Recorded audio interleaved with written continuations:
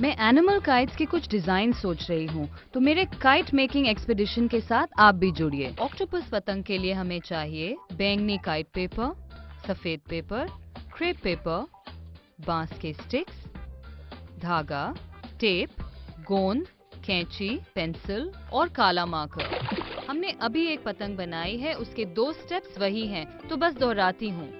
Octopus का sir बनाने के लिए दो यू शेप्स काटिए और जैसा हमने पहले किया था बैम्बू स्टिक्स को इनमें पिरो दीजिए। और अब मैं आपको बताती हूँ कि आँखें और मुँह कैसे बनेगा। हम हरे पेपर पर दो सर्कल्स बनाएँगे। एक बार फिर इसे पलटकर दो सर्कल्स बनाइए। सफ़ेद पेपर पर दो सर्कल्स बनाइए। क्योंकि हम सारी ड्राइंग खत्म करना चाहते हैं इसलिए मैं एक रेक्टेंगुलर मुँह भी इस ऑक्टोपस के लिए बना देती हूँ। जगमीत जानते हो ये कौन सा रंग है? यस बताओ। लाल। हाँ बिल्कुल सही। और अब हम इन्हें काट लेंगे। दो सफ़ेद सर्कल तो अब आँखों को चिपकाने का वक्त है। ये एक चिपका दी। जगमीत क्या तुम मेरी मदद करोगे? आओ इसे यहाँ चिपका दो। थोड़ा दबाओ। और ये सफ़ेद वाला भी। ठीक यहाँ। जगमीत, इसे भी दबा दो। गुड गुड जॉब और आखिर में इसका मुँह। यहाँ। अब काला मार्कर लेंगे और आईबॉल्स बना देंगे। ये तैयार हो गया ऑक्टोपस का सर।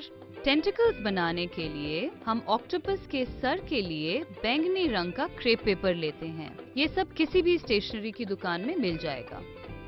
जगमीत तो बताओ ऑक्टोपस के कितने पैर होते हैं? आठ। बिल्कुल सही। ये बहुत आसान है। सिर्फ़ सीधी लाइन में स्ट्रिप्स काट लो। और इन्हें हम ऑक्टोपस के पैर की तरह इस्तेमाल करेंगे। और टेंटिकल्स तैयार हैं। अब हमें इसे सर के साथ जोड़ना है राइट? इसलिए हम सर को पलट देंगे। और डबल साइडेड टेप को ऑक्टोपस की लंबाई वाले साइड पर चिपका देंगे। ये बहुत आसान है। मैं इसकी दो स्ट्रिप्स चिपकाऊँगी। दे यू गो इसे छील लेते हैं। और अब हम इन टेंटिकल्स को इस डबल साइडेड टेप पर चिपकाना शुरू करते हैं। जगमीत, मेरे साथ गिनना शुरू करो। एक, दो, तीन, चार yes. सात।